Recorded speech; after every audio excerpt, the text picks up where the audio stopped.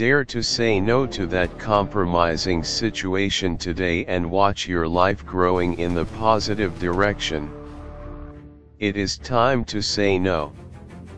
Say no to gain control of every difficult situation. Saying no is not cruel, saying no is a form of strength, and saying no puts you in charge.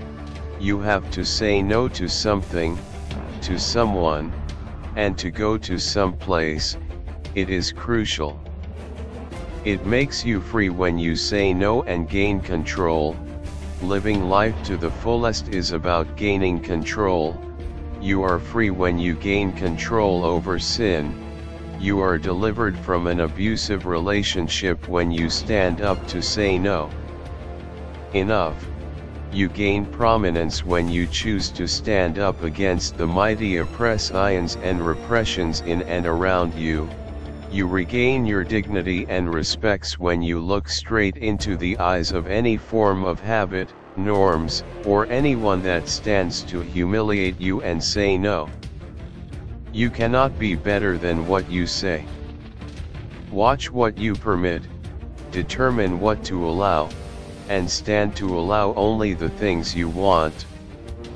The belief systems and the eventual submission of any kind of faith are by saying it.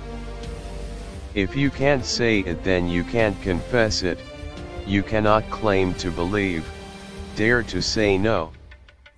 To that compromising situation today, and watch your life growing in positive direction, focus on your goal, the universe is on your side, you have come too far to give up, cross the finish line and get the crown, you know deep within you that, you have a spirit that is hungry for success, and is willing to fight to make it happen. Thanks for watching please subscribe like and share.